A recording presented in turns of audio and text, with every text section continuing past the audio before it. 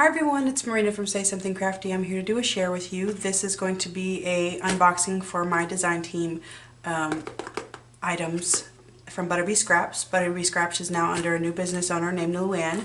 Um, if you are subscribed to her, then you'll already know all about it, but I'm super excited to show you guys what I got. And I'm also going to be doing a little project after I show you guys everything. I'm going to do a quick share and then I'm going to go ahead and uh, and make a project. So, or just like something small so you guys can see everything because I'm, I'm super excited. So, it's been a really long, it's been a really long time since I ordered some stuff from Butterbee Scraps and I'm like really looking forward to this.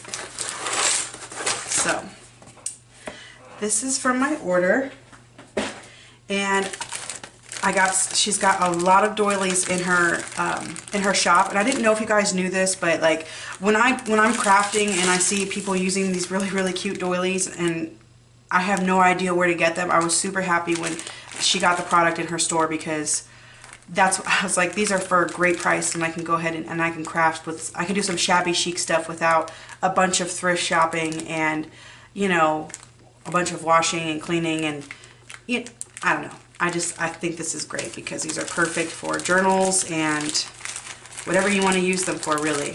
So I got two different types of doilies. I'm going to get some more later. I just was starting off. Um, this, okay, these came out of here. Um, these are, I got a bunch of keys. I saw she had a ton of keys and I didn't see them before and actually, I haven't been to the shop for a while so I was super excited. There's a ton of different keys. And these are some of them. There's just like, okay. These little tiny keys.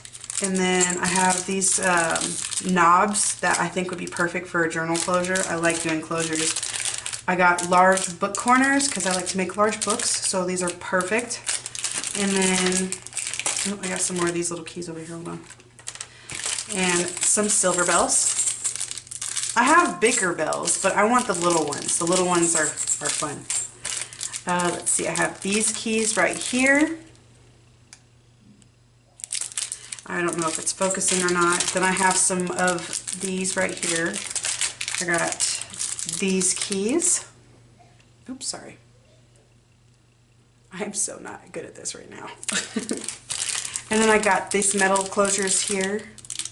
See, they have screws and a latch. I like these latch closure, closures. They're just, you got to be more careful how you use them. This filigree that I've never used before, so this will be fun. I love the way this looks. It's so cool. And then these ones. These are some of my favorites right here. I like this. This is one of my favorites.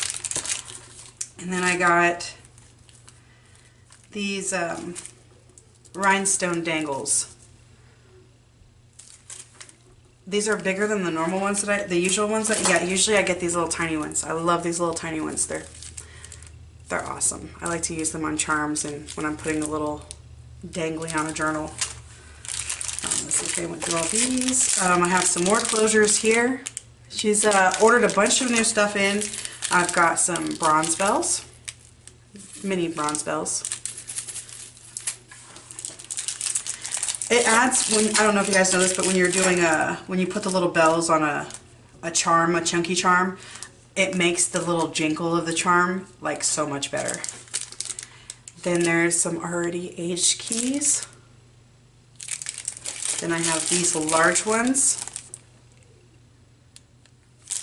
And these, these are awesome, right? I love these. And I didn't even get I don't think I even ordered half of the keys that they have that she has in her shop, so I'm gonna have to get some more. These are awesome. And then I have a large fairy charm. So I'm gonna figure out how to do that one. Oop, there we go. Alright, so I am going to have the link below for Butterbee Scrap Shop and then I'm going to be back with a small project for you guys. I don't know. I'm going to do some um, I know what I'm going to do. I'm going to alter some of these for you guys. So if like, if she doesn't have them, if you don't want to buy them, in, or say you buy them in silver and you want to change them, or you buy them in bronze and you want it to look different, I'm going to show you how to do a little bit of that. So I'll be right back.